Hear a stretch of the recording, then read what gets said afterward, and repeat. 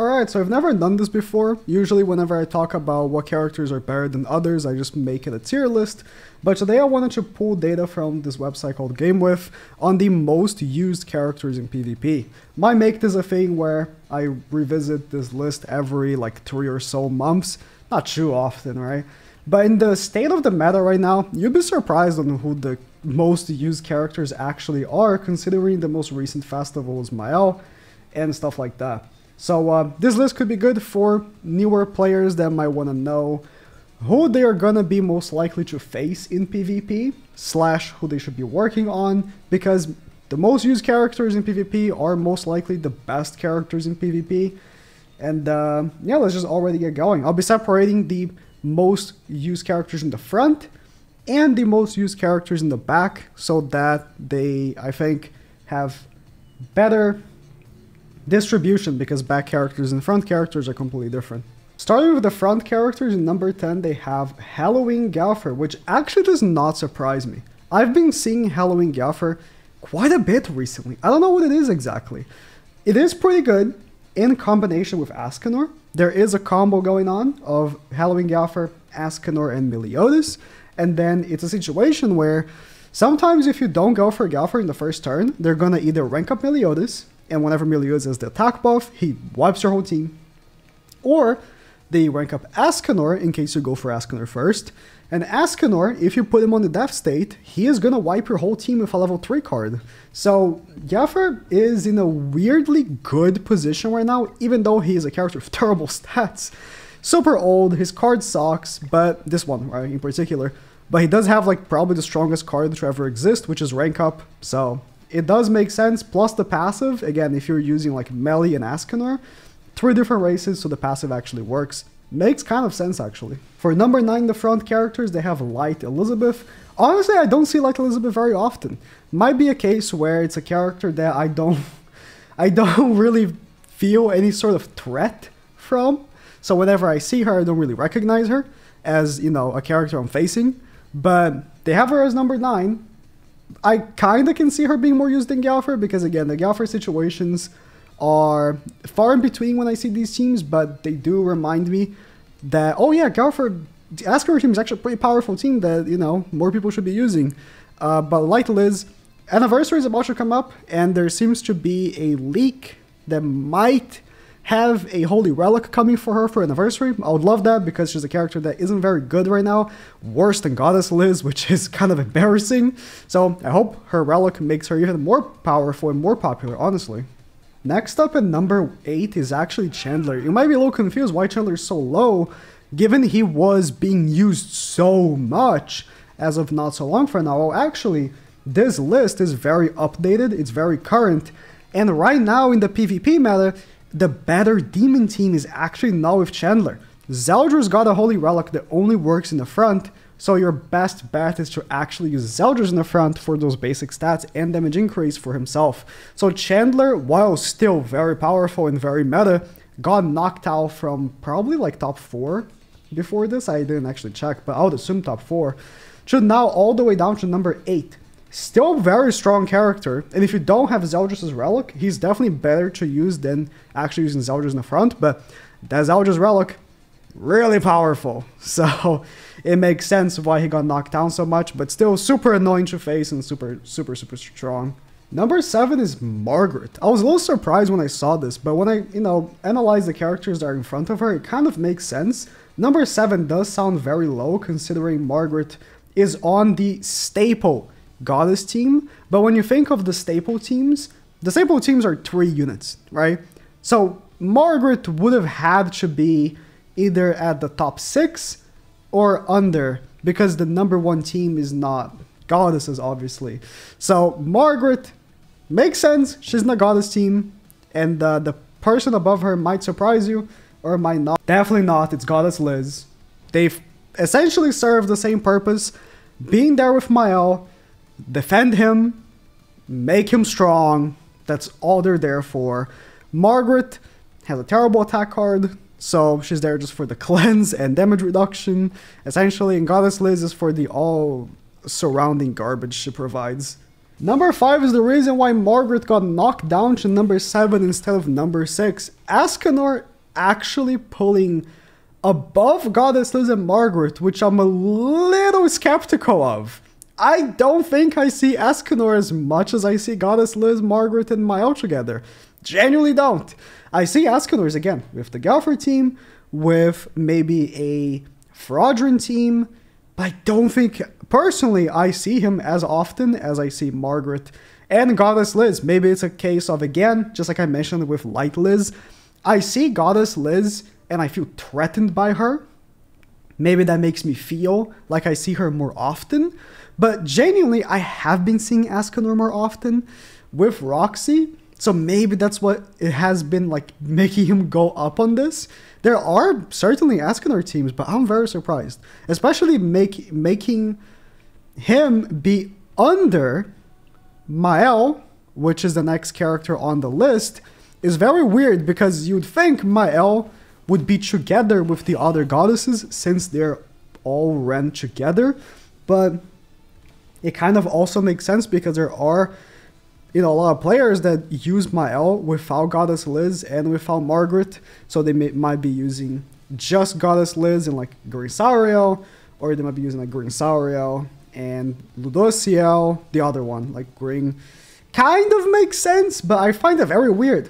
Escanor being in the middle, so Mael's number four, Escanor is number five, Goddess Liz is number six. I, I don't see how Mael and Goddess Liz are separate. Like they are a combo. All of them together is a combo. Doesn't make much sense to me. But Mael, obviously was the most recent festival. He's very strong.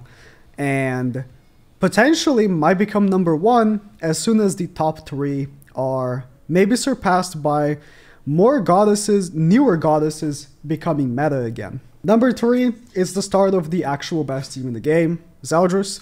Zeldris is now with a new Holy Relic, which makes him the better front unit for demons as a support over Chandler, the relic giving 15% basic stats and himself 20% damage increase, actually edges him a little bit. He's number three because again, there are people that use Chandler, so it makes sense that he wouldn't be number one or something like that. But just knowing Zeldris is number three tells you who the number two and one are. Estarossa, of course, is number two. He wouldn't be number one because Meliodas has so many teams, really. But you see a, a, a, a, trend here of the teams being kind of together. You know, Zeldris, Estarossa, and Meliodas are number three, two, one, all together. And it makes sense. But Meliodas ends up edging Estarossa because Estarossa only has one team. He has the Demon team. As much as it is the most used team, he still only has one team. But like I mentioned, that one team is always going to be using Purgatory Melee, right? Is always going to be using Purgatory Melee. So he's number one, the most used character in the game, the best character in the game. And uh, he is also used in several other teams as well. Like I mentioned, the Gowther, Escanor, Meliodas. There is like people that are using Meliodas, Fraudrin, and Escanor, or Fraudrin and Twigo, Liz and Twigo. So many teams using Meliodas. Really wacky teams even. So it makes sense why he's number one, the most used character in PvP, for a good reason. He's the best character by far. I don't think... I think Mael can come close if he gets support like Meli did, because if you really think about it, Meli got Estarossa, which was already a very powerful festival, Zeldris, which is a good support, and then we got Chandler, Green Chandler, and Cusack. Green Chandler kind of sucks, but Blue Cusack is amazing as a support. So Mael is still to get those amazing supports. We got freaking the Green Ludociel that sucks, and the characters that he's using on his team are Margaret and Liz, two very old characters. So potentially Mael can become number one, but right now is this bad boy. By far and away the best, and deserving of number one. Let's move on to the back units. This list is not top 10, but top 8. In number 8 spot is Lolly Merlin. Makes sense, with full recovery gear and Tarmiel Link, she is an absolute nuisance. You do not want to face someone using this, and uh, that's the only reason why. She's just very annoying because of damage cap, and that's about it. Number 7 is Escanor. Honestly, I don't see Escanors in the back too often anymore, so I guess number 7 is about what I expected. Not if if this list was made like you know a few months ago, he would have been maybe number one. Like he would have been number one for back and maybe like not even in the top 10 for front because it's just how the meta was like a few months ago. But yeah, number seven makes sense. He can be a really good comeback unit, especially like I said with those post mortem level 3 AoEs. Those are just killer. Insta wipe, insta win. I'm surprised to see Green Zeldris here. I don't see this guy ever anymore. Maybe uh, people running honestly, I don't know. I don't see this guy. No one runs Lilia, right? No one's no one's out here rocking Kyo Lilia anymore. If you do, you are dreaming, my my friend, very much. But I guess some people are still using him. His relic is good, like for sure. But I genuinely don't see him, so I'm surprised it's so high. Because the other Zeldris is just really better, especially now with the Holy Relic. Ragnarok Ban in the number 5th spot think I think it makes sense. The ones above him are more specific, and he's like a general kind of guy. He just gives 10% attack related stats to anybody, so you can just slot him in on like a attack based Mael team, which no one runs. Everyone just runs the defensive one with Goddess Liz Margaret, but I digress. Or you can rock him on that Gowther team that I mentioned just for a little more damage, you know? So he can be slotted in on any team and he kind of works. So him being kind of high, but not the highest, makes sense. Coin Shop Merlin for your ult rushers. Above Ban, actually, which is kind of surprising, but it makes sense, I guess. Some people still run her with Mael for the ult rush. People run her, obviously, with those ult rush teams with uh, Blue Liz. So, and again, she's another character, just like Ban. You can slot her in any team and it will work. Um, makes sense. While being number three unit in the front, he's still also number three unit in the back. Wow. Matching. Yep. Zeldris is still a fantastic support that works in the back. So, again, you're better off now using him in the front because of the Holy Relic only working in the front, but not everybody's going to have the Holy Relic. You need to do the new boss to even make the Holy Relic, so makes sense why he's still top 3 in the back. If you're using him with Chandler, or you're using him even maybe with a weird Assault Melee team. Great option for those teams. But it is not surprising to me that Cusack is above him, because if you want to use Zeldris in the front, your best bet in the back is definitely Cusack. He is essentially Zeldris. Like his passive just gives 12% attack related stats just like Zeldris. But he also lowers crit chance by 20% and crit damage by 30%. So on top of Zeldris' attack lower, it's just a phenomenal. And again, this makes for the best demon team. It's, you know, Zeldris, Estarossa, Mel in the front, and then Cusack in the back. Max attack with the lowering. Obviously, when you're facing a Mael team, for example, you're not going to be lowering anybody with Cusack and Zeldris passive. But you take what you can get, and most of the time you're going to be facing other demons anyways, because, you know, those are the most used characters. But unsurprisingly, the number one most used fourth slot in the game is Nanashi. Yeah, no shit. He has the best goddamn fourth passive ever. It's so funny because he also has a whole section of giving unknown 30% basic stats, but it doesn't matter that people are not getting that off of him. They just want the 20% defense related stats. And it works. You know, you're taking off ultimate gauge from the enemies when it procs. You have insane defensive related stats on top of the already one uh, HP and stuff gained from the, the first part.